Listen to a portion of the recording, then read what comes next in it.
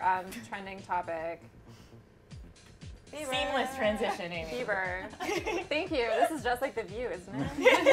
so it's Yeah. better because we don't have commercials. Yeah. We have Who cats. does that make me? CJ's not wearing a shirt. what? Which view character am I? Oprah Winfrey. Character. Uh, you would be Personality. the, you would be Joy Behar. I can see that.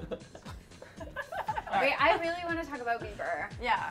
What, okay, so we're talking about, I mean, I think a jumping off point is like, obviously, when you were tweeting about Bieber, a lot of our followers were saying that it really hurt for us to report the news that he was drag racing, taking drugs, and with a girl, and in jail, and then fucked off to Panama. People are really upset by this when we reported the facts.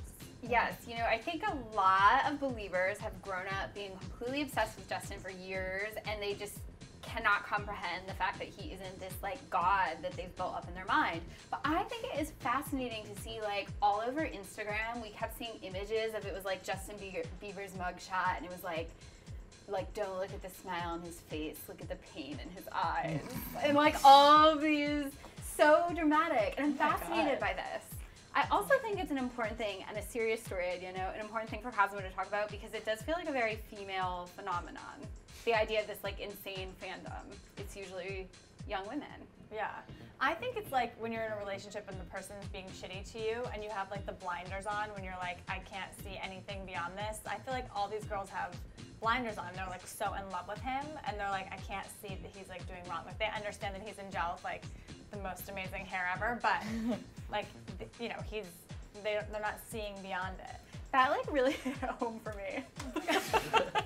What, the hair? no, it's Carly is like, it's just like when you're in a real is. piece of They shit think, that, they think that they're like, because if you And you're see right, girls, you they're like, oh my god, I love you, and they like think that they're his Devastated. boyfriend. And Yeah.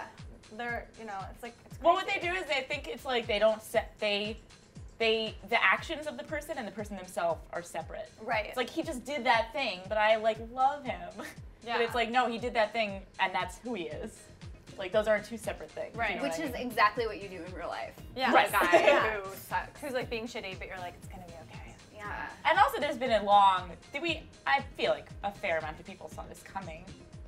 Not this specific, maybe not like this, you know. Happening. But Anna, like, you- there was a definitely a decline in, you know what I mean? We, we were In seeing him be yeah. sort of a piece, a little, a little shit for quite some time.